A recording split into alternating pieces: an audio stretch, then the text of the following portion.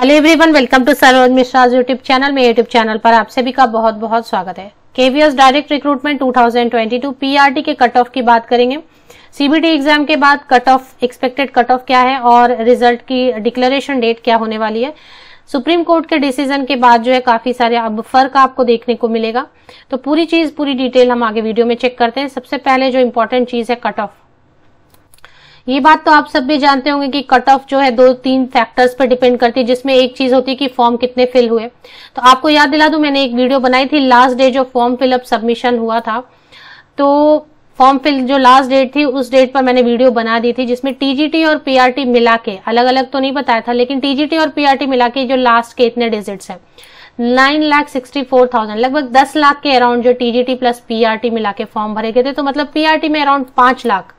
Five lakh के around जो है, पाँच लाख के अराउंड कैंडिडेट्स जो है पीआरटी एग्ज़ाम के लिए अपियर हुए थे।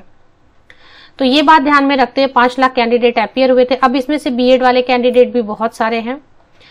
और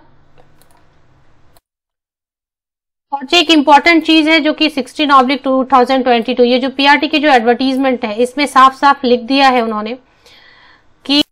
एलिजिबिलिटी क्राइटेरिया के नीचे साफ़ साफ़ लिख दिया था बीएड कैंडिडेट्स के लिए कि बीएड कैंडिडेट अप्लाई हो सकते हैं can apply go through selection process आप सिलेक्शन प्रोसेस गो थ्रू भी हो सकते हैं मतलब एग्ज़ाम भी दे सकते हैं, लेकिन पैनल में उनका नाम जुड़ेगा या नहीं जुड़ेगा मेरिट बेसिस पर, वो आउटकम पे डिपेंड करेगा ऑनरेबल सुप्रीम कोर्ट का जो डिसीज़न है उस पर डिपेंड करेगा।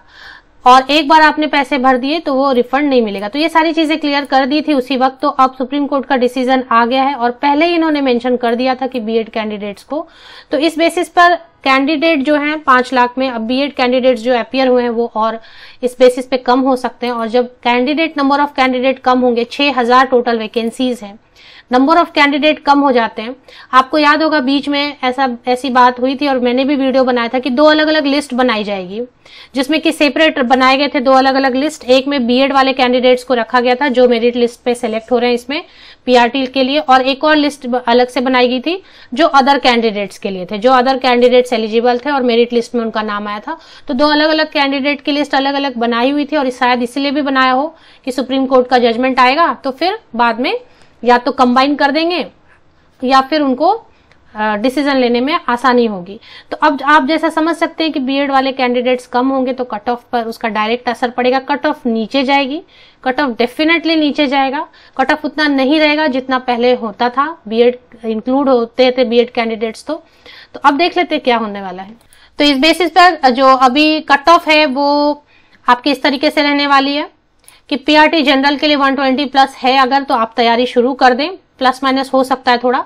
ओबीसी 118 प्लस अराउंड है तो आप तैयारी शुरू कर दें और एस सी कैंडिडेट 110 के ऊपर अपनी तैयारी शुरू कर दें। तो ये एक जनरल आइडिया है। इसके बेसिस पर आप अपनी तैयारी इंटरव्यू की शुरू कर सकते हैं। और रिज़ल्ट डिक्लेरेशन बहुत जल्दी हो जाएगी क्योंकि उनका जो रिटर्न है, सुप्रीम कोर्ट का वो भी आ चुका है। तो इस बेसिस पर रिज़ल्ट बहुत ही जल्दी आएँगे। Maybe ten days ten days के बाद आपको देखने को या ज़्यादा से ज़्यादा टेन डेज़ के अंदर या टेन डेज़ के ऊपर देखने को मिल जाएँगे। results.